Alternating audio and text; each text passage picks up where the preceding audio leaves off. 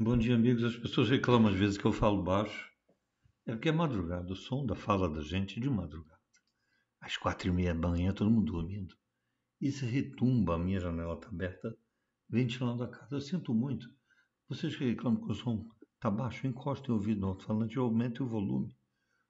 Porque realmente eu não posso é, ficar gritando às quatro da manhã, porque você não quer aumentar o volume ou aproximar o ouvido do alto-falante.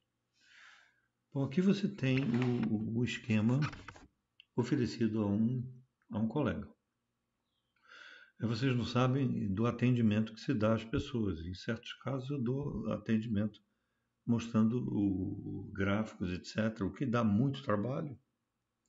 E costumo aproveitar nesses momentos para é, fazer vídeos com esses gráficos para explicar para mais pessoas é, com relação ao esquema que está sendo utilizado.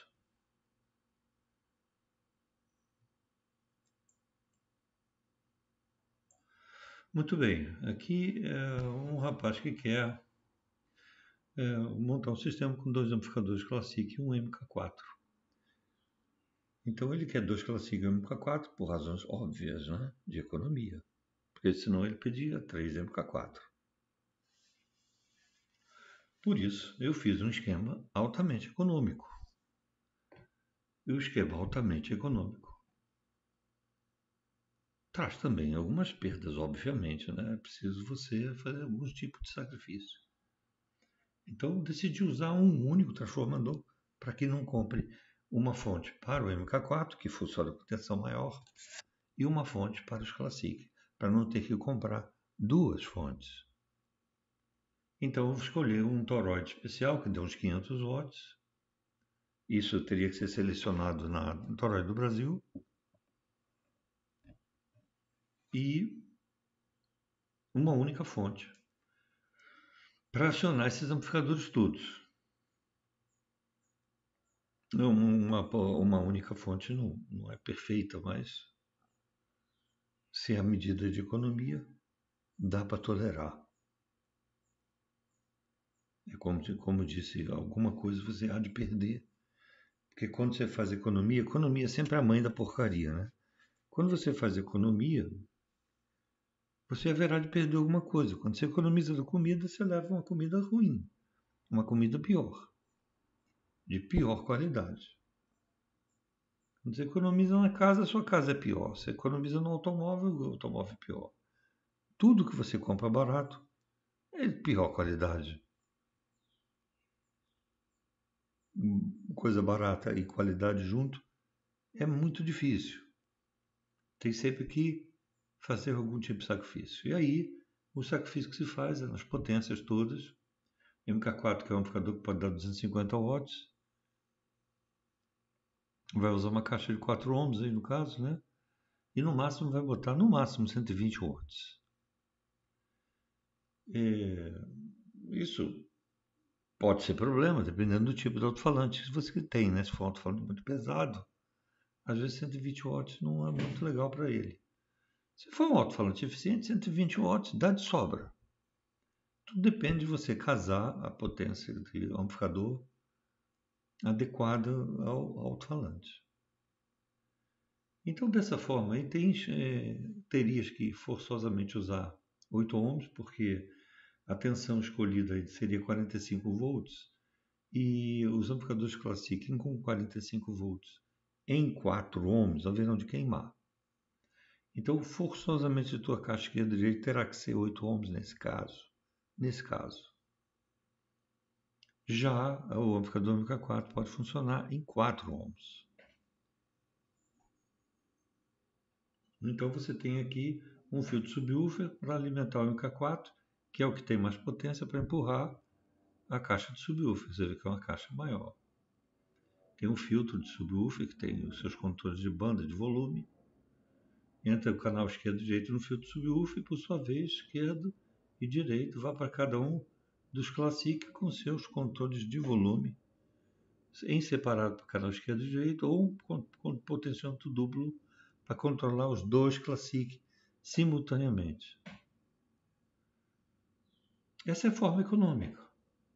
onde vai gastar o quê? 350 aqui, mais 350 é 700, mais 450, 1150, né? 1150 mais o filtro, 300, 1450. Uma fonte, 1690 total. E um transformador de torádio do Brasil que vai custar aí uns 400. Então, dois mil e poucos reais. Nesse caso aqui, você pode usar só dois dissipadores, cada um 50, 60 reais um para os dois Classic e outro dissipador de 10 milímetros, 10, 10 centímetros, 10.4 centímetros de altura por 30 de comprimento ou de 12.5 centímetros de altura, largura por 20 centímetros ou 25 centímetros de comprimento ou 17,5 centímetros de altura, largura por 20 ou 25 centímetros de comprimento. Você tem essas três opções no Mercado Livre de dissipadores ainda tens o no site o rei dos dissipadores, onde você pode escolher alguma coisa. Só que os da, da como estamos falando de economia, os do Mercado Livre vão ser mais baratos. Aqui tem a situação não econômica, a situação de melhor qualidade, se bem que é um pouco econômico, eu uso o transformador do Tony que teoricamente está custando menos que o Tatuagem do Brasil. Isso é bom verificar, pegar o orçamento do Tony atualmente e comparar com o orçamento da Tatuagem do Brasil antes de fazer a aquisição. Porque o transformador do Tony, ele não é muito forte. Quando você puxa muita corrente, a tensão dele cai. Isso é uma coisa que eu utilizei propositalmente. Quando descobri que caía, eu disse, ótimo, não vou queimar o meu amplificador. Eu achei isso benéfico. Só que ele não dá a potência exatamente indicada. Não dá. Então, você tem que considerar que esse do Tony tem que ser mais barato que o da Toroid do Brasil, esse transformador toroidal laranja do Tony. Senão, não compre, compre da Toroid. Então, você tem aqui tráfego da Proese de 24, 24 volts, 10 amperes, e uma placa de fonte que vai sair 34, 34 volts para alimentar os Classic. E aí você pode ter caixas que poderão ser de 4 ohms e vai ter 100 watts. Se você usar caixa de 8 ohms, vai ter 50 mais 50 watts. Nesse caso, usando o transformador da Tony, você vai poder ter até os 250 watts. Na verdade, o transformador da Tony talvez nem chegue a 250 watts.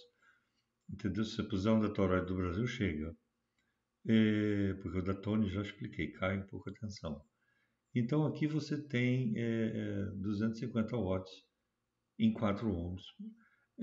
É, esta forma que aqui está, você em vez de ter um transformador, você tem dois. Então você aumenta mais 400 reais no mínimo de transformador. Em vez de uma fonte, você tem duas. Você vai aumentar mais 240 por conta da fonte extra. Então você tem aí aqui um acréscimo de se mais o dissipador tem que ter um grande, é, você vai ter que ter três dissipadores nesse caso, uh, um para este, um para este e um para este, por conta da, do, do incremento de potência. Três dissipadores, um de cada lado e um outro que você vai botar em cima, sei lá onde é que você vai enfiar, embaixo, não sei, atrás, não sei, eu não sei aonde. Então, nesse caso aqui de três canais, com muita potência, você precisa de três dissipadores. Então, se em vez de gastar dois dissipadores, vai gastar três. Tem mais aqui, se for dissipador vagabundo, quer dizer, os baratinhos, vagabundo não, do Mercado Livre, mais uns 60 reais aqui, é, o segundo trafo, mais uns 400, então 460, mais outra fonte, 700, uns 800 reais a mais para montar esse esquema aqui. Então, aí são duas opções.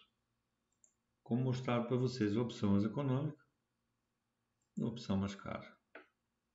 Aí o rapaz que resolva. Então, algumas pessoas dizem assim, não, você não dá atenção, não sei o quê, poxa, o quê, comentário fechado, que, poxa, não sei, dificulta o contato, que, tá, nojento, cavalo, burro, besta, é, arrogante, podre, puto, safado, gordo, viado, enfim, aquelas coisas todas que as pessoas dizem. Mas na verdade vocês não sabem de nada. Eu dou atenção sim aos clientes. Há muitos clientes recebem muito boa atenção. Você vejo que o cara merece também. Às vezes tem uns caras que ficam de conversinha fiada, você fica fazendo diagrama para eles, depois eles não compram nada, porque na verdade eles estão querendo é conversinha fiada, eles não querem comprar nada. Eles querem um amiguinho para trocar de ideia. um abraço para vocês. Bom dia.